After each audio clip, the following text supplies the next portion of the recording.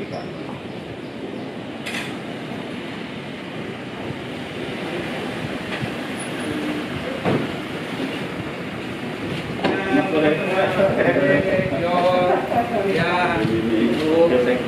Ya, ya, nah, ayo, ayo, ayo, ayo. Kita anu aja ya. Kita Selamat datang Pak.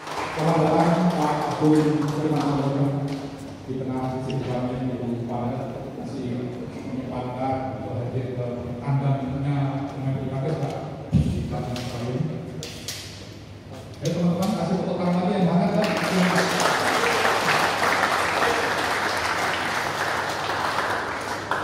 Dan dari beberapa yang pernah itu, salah satu di antara yang saya didik langsung itu enggak. Karena papa begitu juga nanti cerita menceritakan tinggal di sana. Tidak boleh kan bakal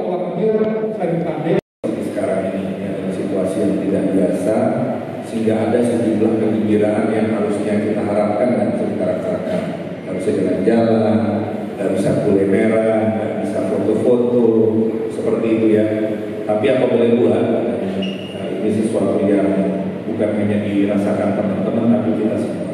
Saya juga eh, merasakan hal yang sama. Dan ada konsekuensi bagi yang melakukan pelanggaran. Sebagai contohnya ini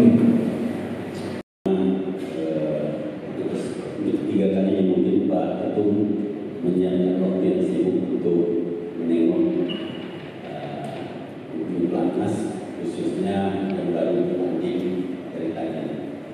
Jadi mungkin kesempatan ini beliau memang memesan bahwa beliau ingin suasana tidak resmi tapi suasana yang santai.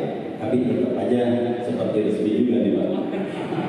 Ya, tapi mungkin kesempatan ini bisa seluruh atlet bisa menyampaikan apa yang perlu eh, pada saat bertanding di sana, apa kira-kira yang perlu disampaikan. Mungkin yang pertama saya minta uh, Binpres dulu, Pak Yoni, mungkin ada pelatih lagi. Terima kasih kesempatan ini. Kami senang sekali dan kesempatan ini saya mau mengucapkan terima kasih kepada teman-teman sempat bikin song gitu ya melatih semangat kita dan khususnya juga kemarin kita dari berangkat sampai ke kembali ke Indonesia ini adalah Nama saya apa? Asisten pelatih dari Pak. Kalau nama eh, mungkin apa hasil yang di Taiwan kurang maksimal. Dan langkah debut pertama keren Pak. Tentang itu Pak, tentang itu Pak. Memang benar yang Pak Agung dari apa, dokter tegaskan bahwa di kami itu olahraga itu ada tiga atau empat kriteria yang penting itu adalah mental, teknik, fisik, dan satu lagi aktif dan Pak. Jadi saya mau berterima kasih untuk eh, supportnya untuk tetap bisa memberikan pilihan yang terbaik untuk kita. Jadi itu sih dari saya Pak. Sedikit cerita kita di sana kurang lebih swab di tusuk itu 8 kali pak ya 8 kali jadi Saya saya gambar apa namanya orang sering swab yang